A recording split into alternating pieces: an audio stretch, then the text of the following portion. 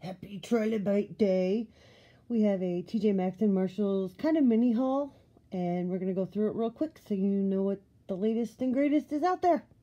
And don't forget to subscribe, because my Trilobite would be very happy if you did so. But if you don't, that's okay too.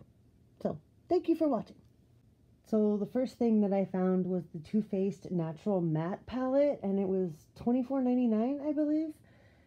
And this is what the inside looks like. So it's a really basic neutral palette, but it's actually gorgeous and I really liked it. I also found the Morphe 35S Sweet Oasis palette. Also found some of the new Smashbox Gloss Angeles glosses in that collection. I also found a new e.l.f. palette, some e.l.f. serum, and some more Bobbi Brown stuff, and some more Tarte Double Brow, along with, I also found some Lancome illuminating and anti-fatigue cooling eye gel as well. So I'm starting to see more Lancome, more MAC, more Smashbox, more YSL, that type of thing coming to the discount store. So while I was at the store, I found this Physicians Formula Butter Collection. And this was $7.99. and it actually has all of these really gorgeous shades. I really like this marbly one. Like, I'm really interested to play with that. But you get all six of them for $7.99.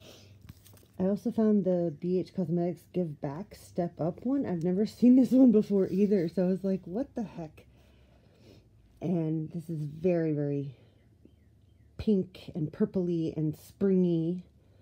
So if you've been looking for this one, they have these now as well. A ton of e.l.f. brushes. They have obviously tons of Morphe brushes and tons of Sigma brushes, but now they're getting more and more e.l.f. brushes in. So, and this was only $4.99. I was actually really excited to find this. I did mention this in one of my previous videos when I was talking about how I own too many green eyeshadows. But can a person really own too many green eyeshadows? Can they? Is that possible? Yes, it's possible. You own too many green eyeshadows. Thanks, Tesla. But this is like the last one that I haven't seen or found. And of course it's green. So this just had to come home with me. And this was only $4.99. So, and I'm really excited that BH is launching the new palettes. They have like a six new like places palettes. Like it's Egypt and Miami, Las Vegas, I think one's Greece and one is um, Iceland.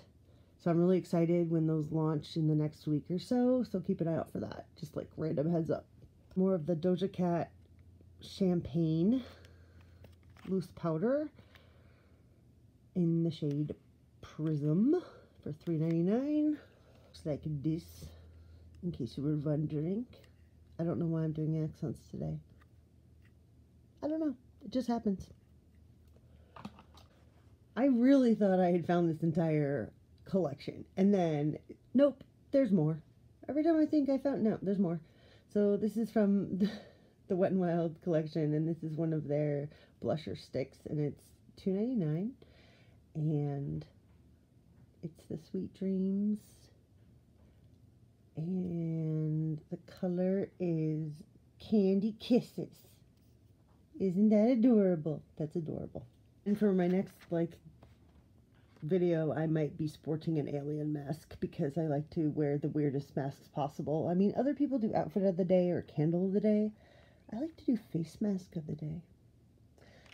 But yeah, so you might see me wearing this in an upcoming video.